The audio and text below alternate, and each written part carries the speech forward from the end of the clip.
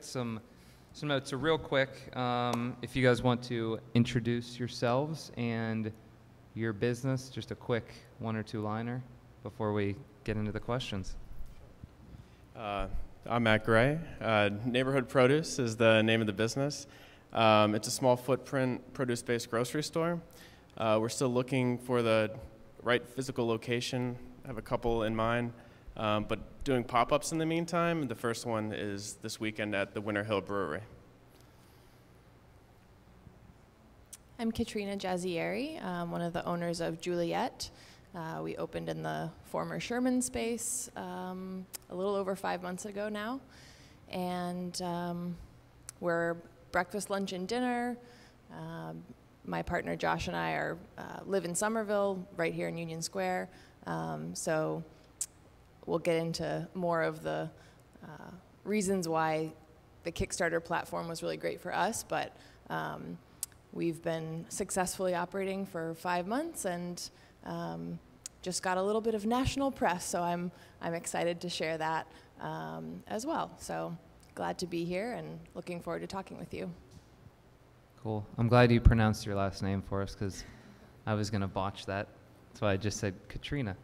Um, it's cool. You guys, uh, um, outside from crowdfunding, it seems like pop ups are definitely uh, an MO and part of your strategy. So I definitely want to make sure to hit on that as well. Um, so you both, both use Kickstarter as your platform of choice for crowdfunding. Um, can you tell people a little bit more why you chose Kickstarter as opposed to Indiegogo and some others? And, um, you know, was it a really um, hard decision, like, or was it like, no, Kickstarter is, is the one? Yeah, so um, it was it was kind of a hard decision because there were a lot of different there's a lot of different platforms out there that you can use now. Uh, a few years ago, it was really Kickstarter was it, and now, like I said, there's Indiegogo. Um, there's there's a lot of them out there. Um, I think I went with Kickstarter mostly because of the really two things: the name recognition and being able to set that goal. I feel like it, it puts more drive behind it. You know, you have 30 days. If you don't hit it, you don't get anything, and it kind of it, it makes you both as the person launching the campaign it puts the clock on it, so you're really like working hard to make sure that it that it works out. And I think also from people funding it, it makes maybe you seem a little bit more serious about it, um, a little bit more like a real project that's going to be able to get off the ground.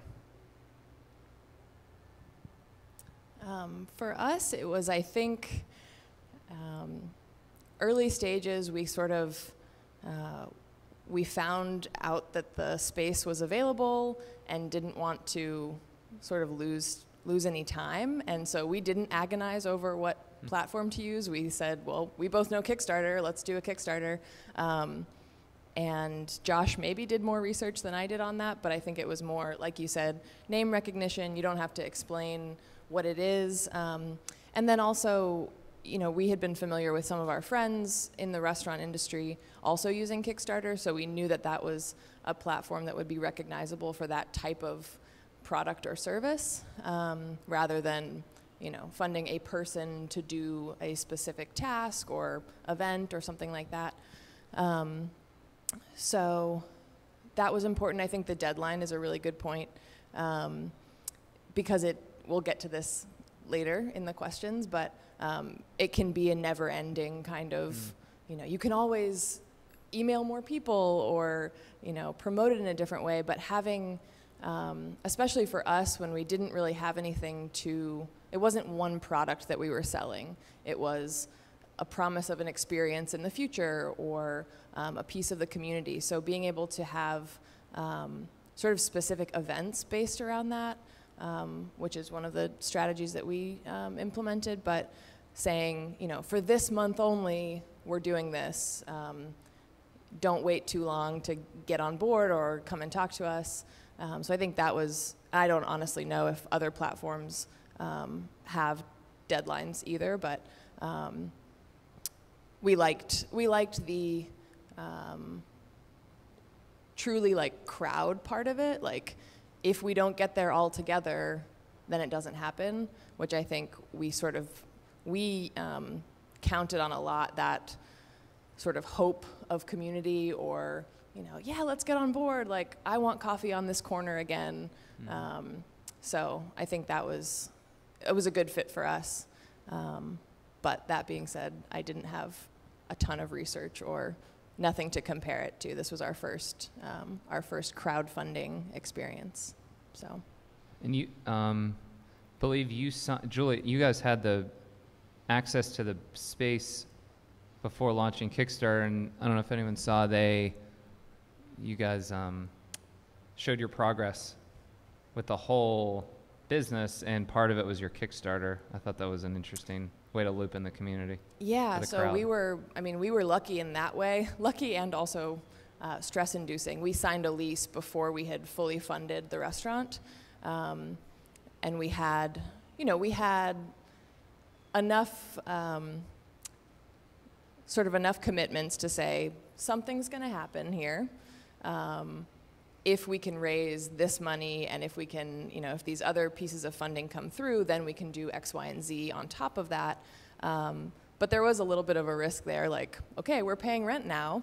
um, time to time to get serious and and really line these things up. Um, but it gave us the ability to stand in front of the store, to film inside of it for our video, to say this is what's going to be right here, and in this corner you'll do that. And um, during the farmers market Saturdays, we would stand outside, um, Josh and I, and just kind of talk to people passing by and introduce ourselves, um, which was a really big asset because even for me, it was kind of like this intangible who's gonna who's gonna support something that is totally, you know, uh, an idea still at this point.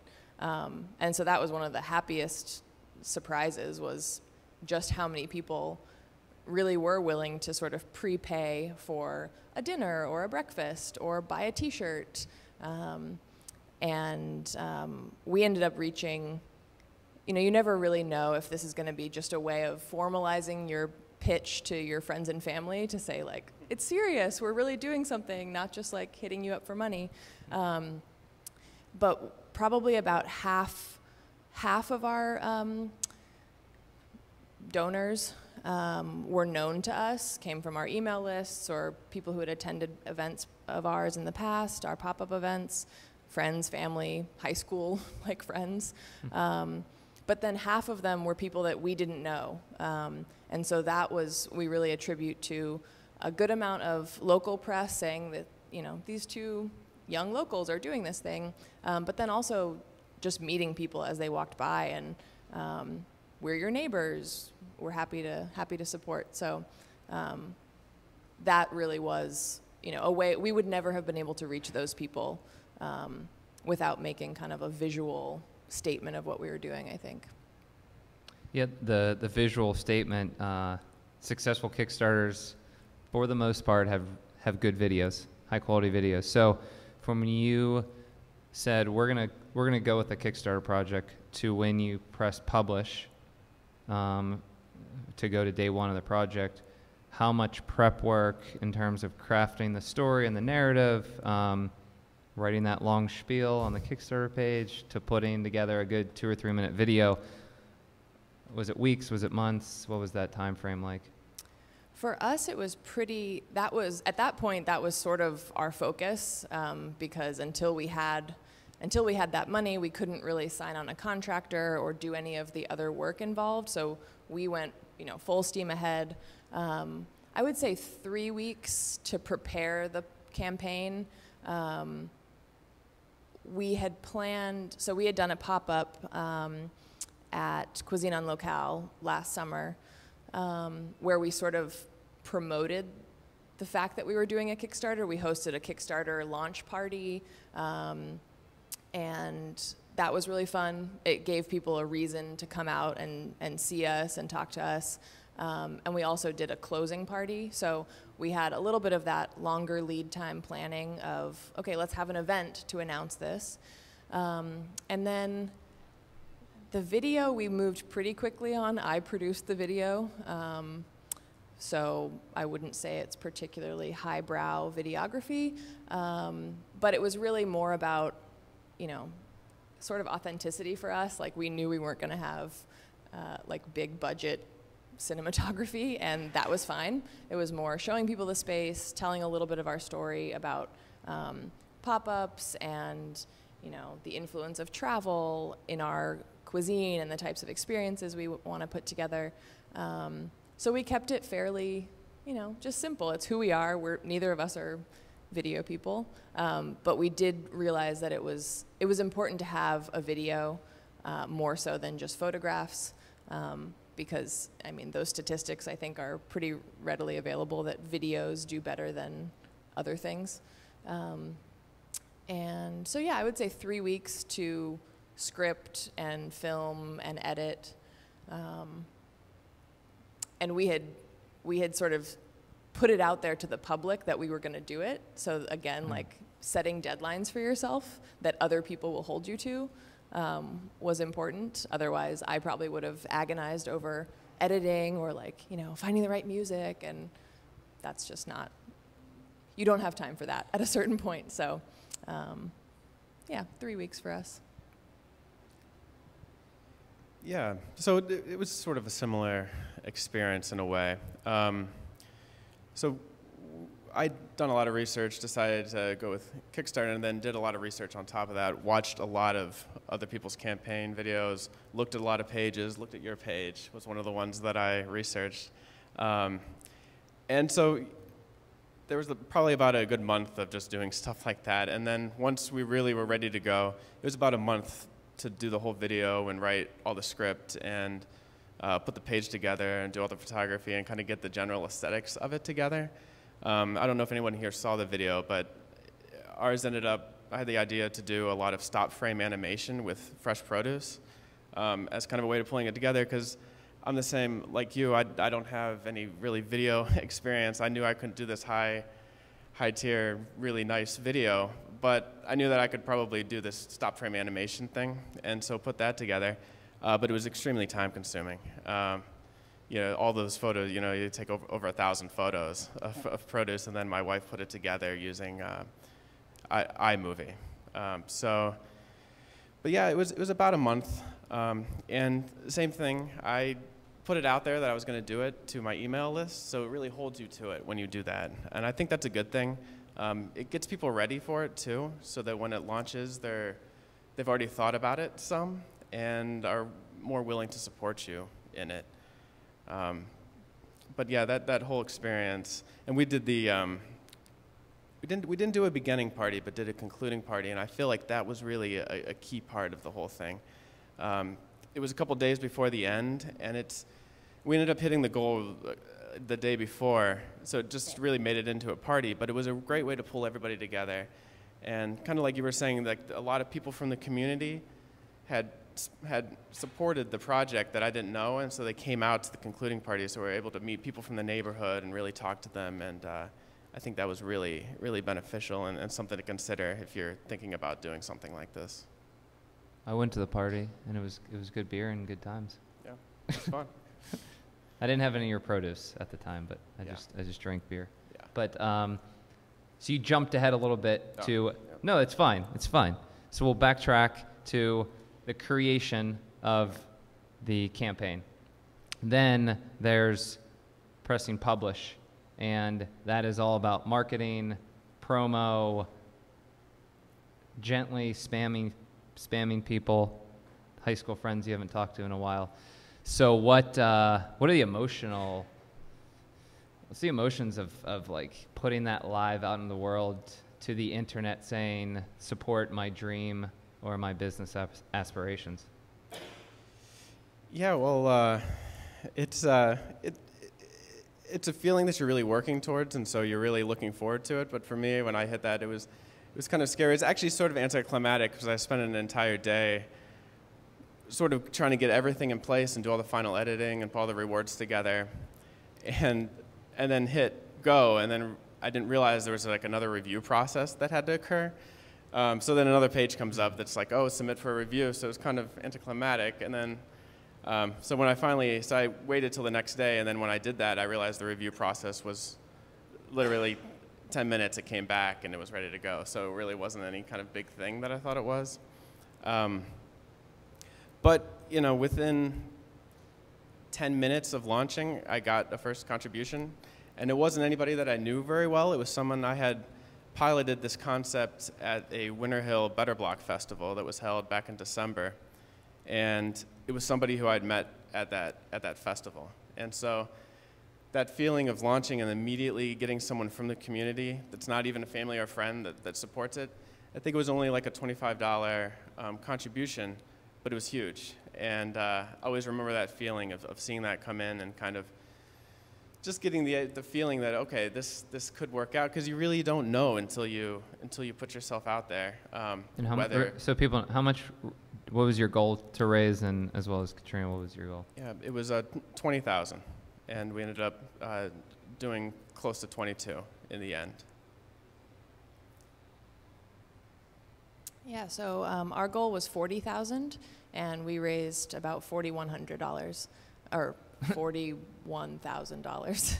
Um, we met our goal, um, and the emotions were, I don't know. I think there's probably people who are totally happy and feel great about asking for money from people, but that's not an emotion that was um, natural to me.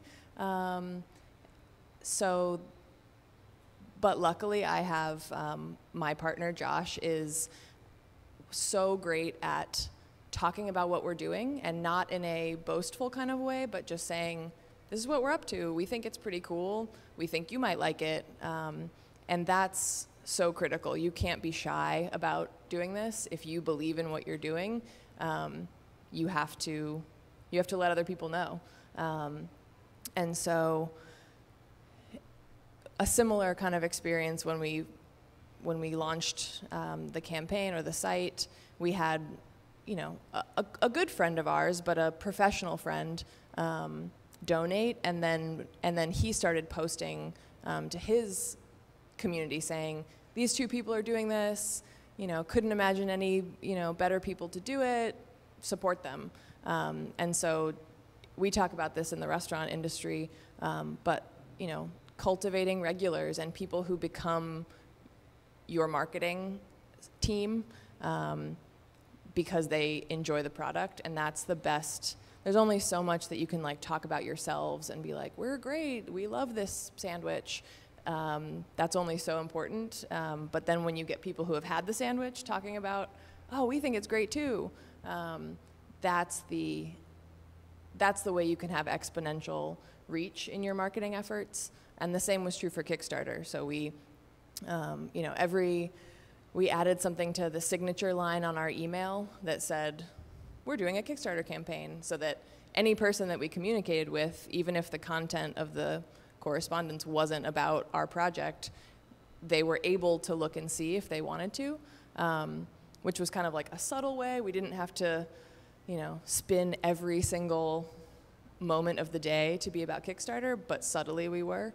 Um, and so, yeah, I mean, it was ups and downs. We had our, like, okay, we're a quarter of the way through, we're not at a quarter funded, so should we be freaking out now? Should we be worrying? Um, and you start making contingency plans, and you're like, okay, well, is it like, you know, is it kosher to like donate to your own campaign? Like, I know you're not supposed to do that really, but if you're if the option is leaving all the money on the table, like, are you going to? Are you going to call that like distant aunt to like, you know, bankroll your campaign? Um, which I think is it's good to have all those. In small business, it's good to have a backup plan um, because things don't always work out the way you intend them to. Um, sometimes because it's your fault, and sometimes unforeseen circumstances. So. Um, I mean, being ready for that. Anytime you put yourself out there, there's there's a chance it won't be successful, or you'll get um, you won't get the response you're looking for. Um, but for the most part, it was a really positive and sort of reassuring way for us um, to be thinking about our business. Like this is both of our first um, business of our own, um, and so that kind of validation of like, oh look, people are people are on board, they're supporting us. Um, you know, and again, meeting the people walking by, saying, okay, people like this idea, it must be a good idea.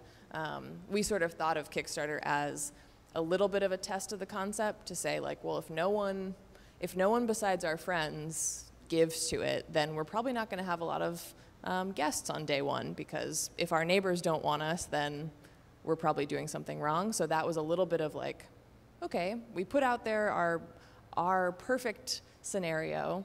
People seem to like it. Great, we're gonna go with that, as opposed to like if no one had been in, in um, interested or if we had really struggled to reach people, then that may have been a, um, a sign to us to kind of rethink where we were going. So. Both of your projects um, received a good amount of press. Um, do you have an, uh, a formal strategy for press outreach? I know you got Boston Magazine. I think that was. Kind of serendipitous. Yeah. Um, Eater Boston, I believe, cover maybe both of you. But yeah, how, how did you approach the pre- press? What was the the quick elevator pitch that you make it easy for them to tell your story? Yeah. Um, uh, for, for me, it kind of happened both ways. I, I didn't have really a press plan uh, in line. Uh, the Boston Magazine thing just sort of happened. It happened right away. Uh, the day after I launched, a person from Boston Magazine who happened to live in uh, Union Square, and I'm actually still not sure how she saw it, but I saw the, the video and, and saw the campaign and, and contacted me to do an article, which was really huge um, and really helped build the success, I feel like, of, of the campaign because you reach so many people that way. Um, people who you're never going to reach through social media or through your email list or through your friend network, which is essentially what you're tapping into. Um, and then some other stuff like Scout Somerville. Um, I have a friend who I hadn't realized that she worked for them, had contacted me a couple of months before I launched the Kickstarter and had kind of put me in contact with somebody there um, to do an article in the future. And then the Kickstarter launched, and that person ended up getting in touch with me as well. So that, that really worked out. Um, and then Somerville Journal, that was another one that the reporter just, just came upon it and decided to do the article. Um, and then it was kind of interesting. Boston.com had contacted me. I did an interview, and then just the article never came out, um, which happens too. Um, I, there was already a few stories out there, and I think that it's what's newsworthy one day might not be the next. But I would say that if you do launch and, and the press does contact you, like they really need to move fast. So you really have to get back to them and do the interview as fast as possible, which is sometimes tricky when you're trying to get a small business because you have a lot of competing, competing people doing things. Um, and but that was for me that was that was a big thing was just being on top of it because that story has to come out the next day. Um, yeah, that's about it. Um, for us, the again the fact that we had a physical space was big. Um, we weren't actually planning to announce anything about the restaurant or about anything, um, but we were outed. Um, some spies saw us scraping paint on the windows, and so there was like a teaser published, and so then we sort of like had to think, okay, well, we're certainly not going to be open for at least five months, um, and it turned out to be nine months. Um, so we were thinking like, okay, how do we how do we sort of drop lines here and there that keep keep the project um, relevant to the to the press and to people who are curious, um, and so we're lucky to have um, you know good relationships with a lot of the media outlets um, through our pop-up events and you know they're on our listserv. So when we announce things they know um, they know about it. And um, again kind of thinking about think about what story they would would write and and tailor that message like you know local couple uh, opens restaurant like doing kickstarter campaign not super I don't know, attention grabbing, um, but as much work as you can do to say, okay, well, what is the story here? Um, and so for us, it was sort of like pop up to brick and mortar. Like that's an interesting narrative that I think a lot of people are trying out now.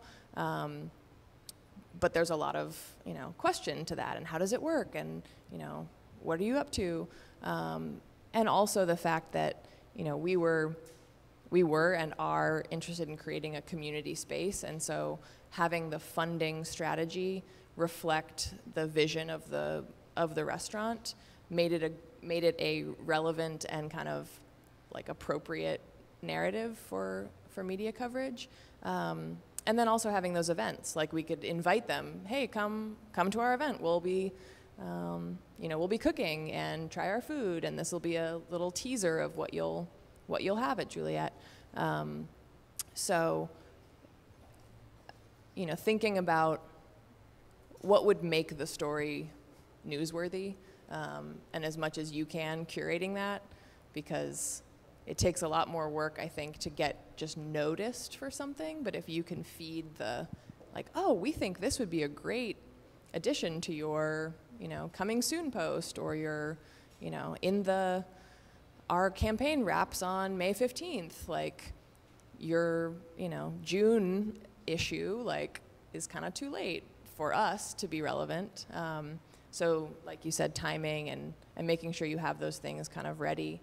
Um, and creating those contacts you know it's easier to create contacts when you're not asking for something um, so if, if this is something that's kind of a seed in your head like start talking to people and, and meet some of the we have a ton of local um, like union square and somerville residents um, who are part of the media community um, and you probably you probably know them if you don't know that they're um, even if you don't know their affiliations so um, yeah, create that, creating that personal relationship, I think makes makes all that easier. You know, you're not throwing something against a brick wall. You're having a conversation with a person. So.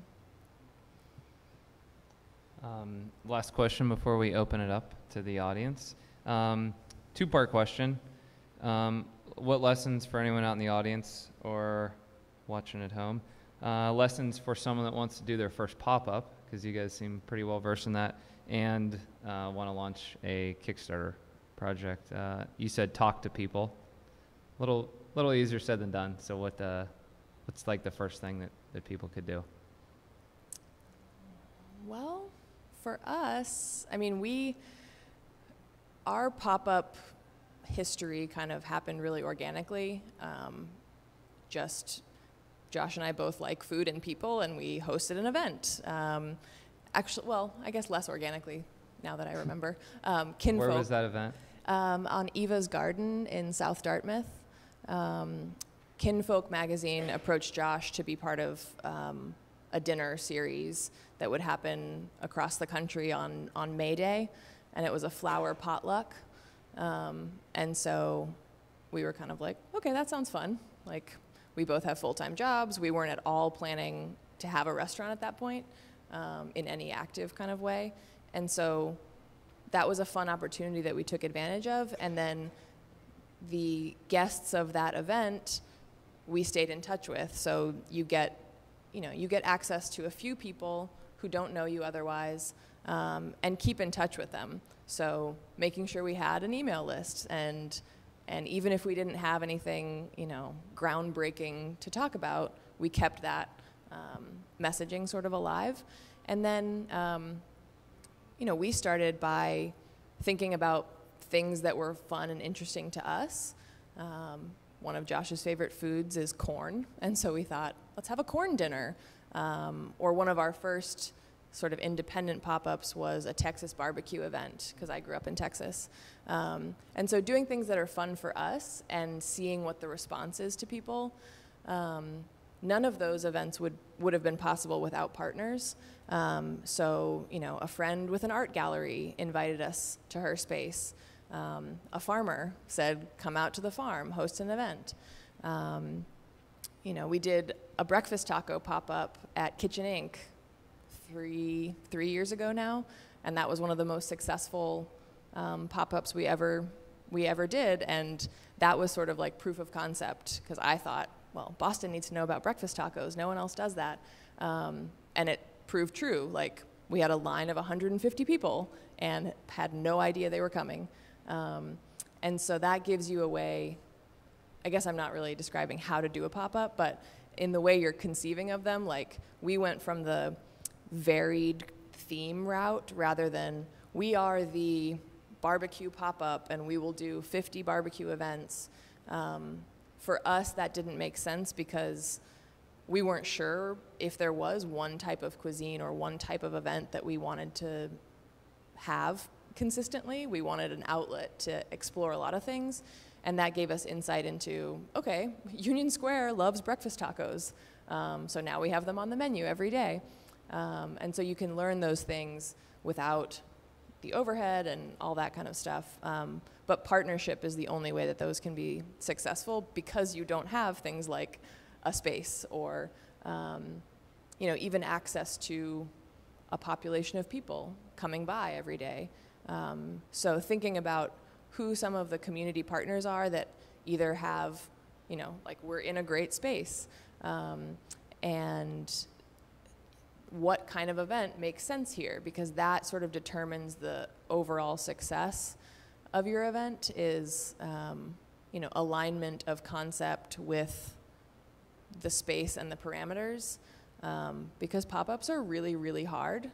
Um, they're financially sometimes easier than building a restaurant um, but they're really difficult. You have to bring everything in take it all away market this one event really, really hard and hope that people come.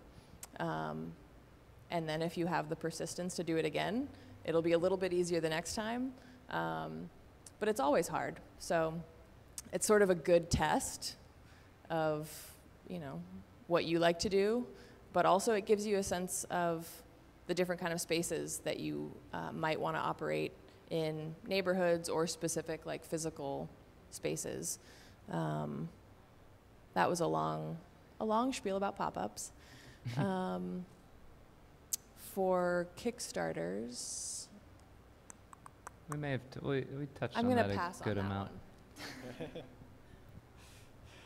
Um, and I'm going to second a lot of the things there. Um, I think one difference is I I did a small pilot of a pop-up at the uh, Winter Hill Better Block Festival, but it was really just a demonstration. I didn't sell very much produce. I really just talked to the community and, and got people on board. Um, but this weekend I have my first sort of real pop-ups, and they're going to go throughout the month of August. Um, and it's it's difficult. you know, it's a ton, it's a ton of planning, preparation.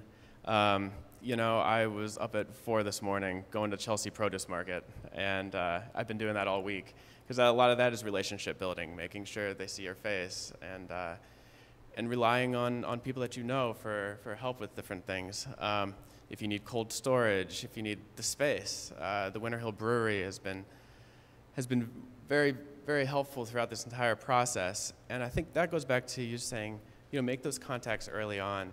Um, the Winter Hill Brewery is uh, really, it's open right be- behind where I live.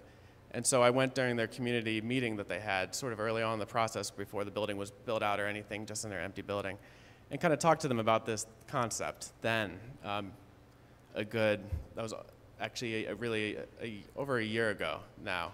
Um, and so that really helps it, helps it get going. Uh, but I think the benefit of doing a pop-up is you're able to sort of get some of those logistical problems that might be there, at least for me. There's a, a lot because you're sourcing produce from local farms. Um, you know, I drove out to Stowe and back yesterday.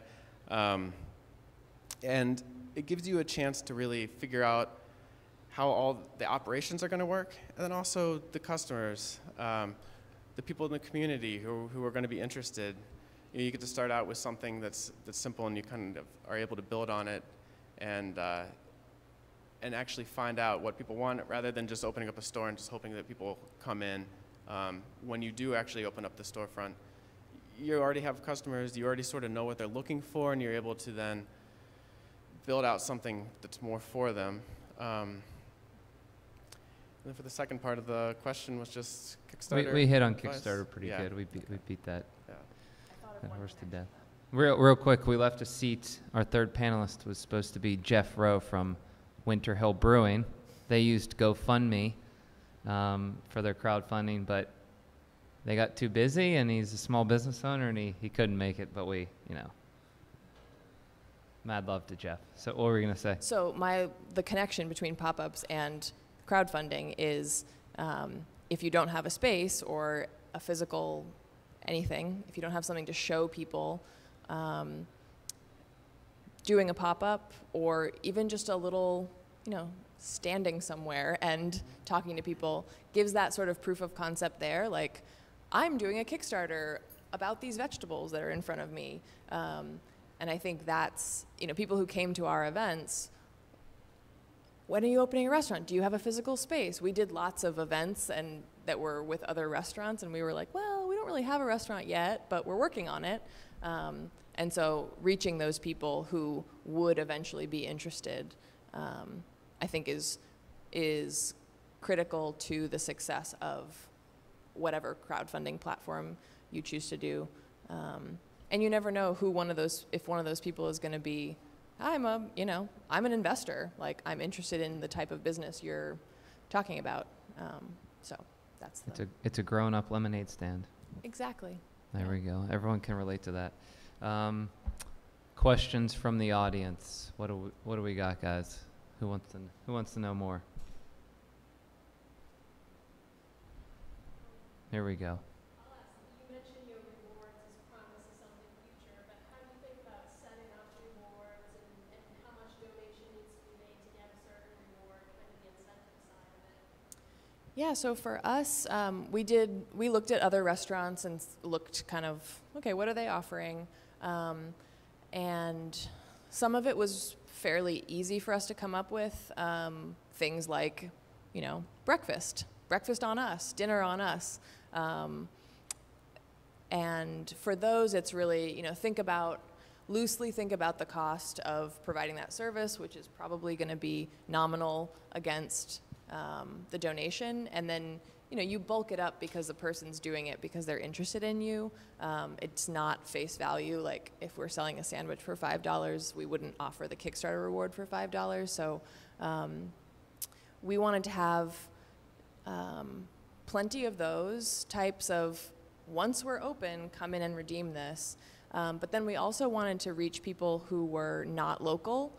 Um, so, you know, we can't offer you a class because you may never come to Massachusetts, but you are interested in us or you know us. So we did um, spice boxes, um, t-shirts. I have having a line of aprons, so I made custom aprons for people. Um, and so having that diversity too of some things are $10 because it's important to let everyone engage, even if it's even if you don't have a, a lot of money to contribute. Um, and that diversity of do you have to physically be here to redeem it, or is this something that you know you'll wear your T-shirt and and you get to talk about it like I helped this this business get off the ground.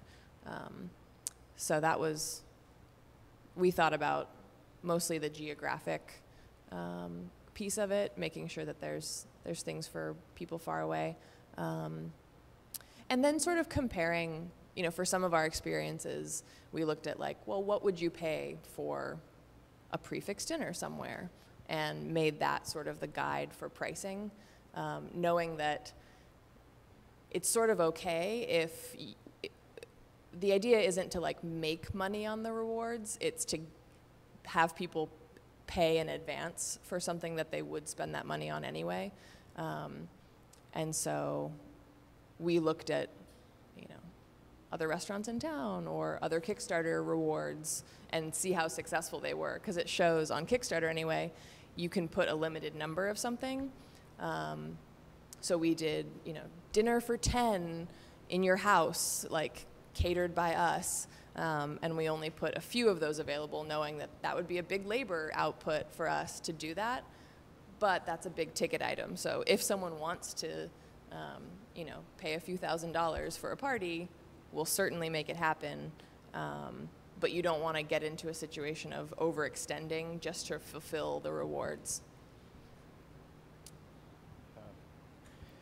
It's a, it's a good question. I um, spent a lot of time researching and thinking about the rewards before before I launched, and um, and so you know you, re- you really want to kind of like what you were saying have something that speaks to what the business is. So I started out with a lot of things of just the reusable grocery bag and, and, and items like that, which which are related, um, and then ended up extending it out to actual produce. So um, a, a certain amount of produce a, a month type thing and try to gear it towards certain uh, amounts. Um, So there's there's a lot of data out there about what levels people will generally support at. Um, 25, 50, and 100 are really the, the top ones that the majority of the people who are, will pledge will go for those rewards. So I thought it was a good idea to make those levels a little bit more appealing than some of the other ones. Um, like, you know, not too many people will go for 250 for whatever reason, um, or 75. It's kind of a funny thing, um, some of the numbers in between. Um, one thing that I think speaking to making sure, like looking at the cost versus what the reward is, it's, it's an interesting balance because you're not just getting the money, you're trying to provide something. At the same time, it has to be something that won't kill you in the end trying to fulfill that reward. Um, I sometimes now, looking back, think I was probably a little bit too generous with some levels. Um, probably offered up too much produce that going down the road, logistically even, it's gonna, it might be difficult. And I'm, I'm kind of working through that now and figuring it out. Um, so one thing to know, I, I don't know about the other platforms, how those work. With Kickstarter, once you put a reward up there and someone chooses it, you can't take it down or edit it or change it. So realizing that maybe I had made an error in the Kickstarter, there's nothing you can do about it. So it's just something to really look at when you're when you're planning it and really look at those costs of the rewards versus the total amount that you're trying to raise and make sure it balanced. But I, I, don't think I overextended it too because bringing in people to, to get produce and, and providing that to them, it, it's a good thing for the store itself. So, you know, you bring people into the store, there's a certain amount of produce that's free, and then, and then you create a shopping base. So I think you have to think about that too. Um, and one thing that we didn't really touch on that I think is really a, a benefit of Kickstarter, actually, we, we did talk about it a little bit, is just it's a really great way to engage the community. Even like, in some ways, even if you don't make goal or even if you set the goal kind of small, the benefits of being able to tap into all these people that maybe you, you don't even you don't know, but they're living in the community, are interested in what you're doing, you know, it's it's huge, and it's a list that you can go back to, and you know, have all those people on your email list, and let them know what's going on with the with the project, and you just instantly are able to to connect in a way that a business that's just getting funding from a bank um, wouldn't be able to engage the community in that same way. And I think that's that's really at the end of the day the, the real power of crowdfunding, especially when it's geared towards a community and not like a technology product that's going to be shipped out or something like that. Excellent. Um, where can people find you physically, brick and mortar, uh, or pop up, and as well as online and, and on social media?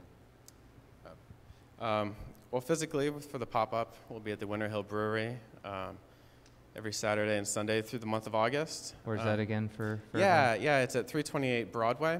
Um, so, kind of just going up Broadway from, from East Somerville. And uh, it's a neat building. It was an old cell phone store that the brewery guys turned into this, this nice brewery and restaurant. Um, online, uh, nbrhoodproduce.com. Uh, I'm on Facebook as well, and uh, Instagram account. No Twitter yet, so we'll see. We got enough going on. Yeah. Well, and you can find us just around the corner, seven days a week, at uh, 257 Washington Street. And the breakfast tacos are on point. But you have to get there early because we, we do the barbecue style service of those, which is uh, they go out at 7 a.m. and we have them until they're gone. So Thanks, guys.